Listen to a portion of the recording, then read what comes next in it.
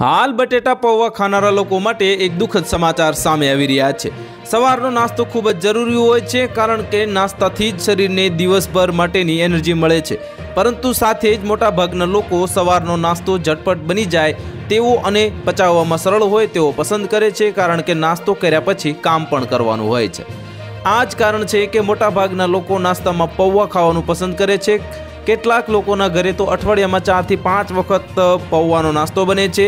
એ વાતમાં કોઈ શંકા નથી કે પૌવા ખાવા સ્વાસ્થ્ય માટે સારા છે, કારણ કે તે કાર્બોહાઈડ્રેટેડ ફાઇબર અને પ્રોટીનથી ભરપૂર હોય છે. સાથે જ તે ખાવામાં સ્વાદિષ્ટ પણ હોય છે.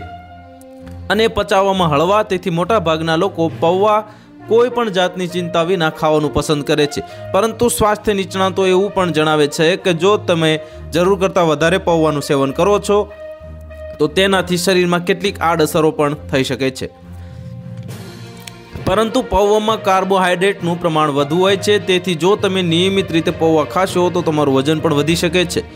સાથે જ પૌવા સફેદ ચોખામાંથી બને છે, તેથી તેમાં ગ્લાયસેમિક ઇન્ડેક્સ વધારે હોય છે અને તે રક્તમાં શુગરનું પ્રમાણ પણ વધારી શકે છે. તો હાલ માટે આટલું જ. મળીશું નવી અપડેટ સાથે. જો તમને અમારા વીડિયો પસંદ આવતા હોય તો વિડીયોને લાઇક કરી દેજો.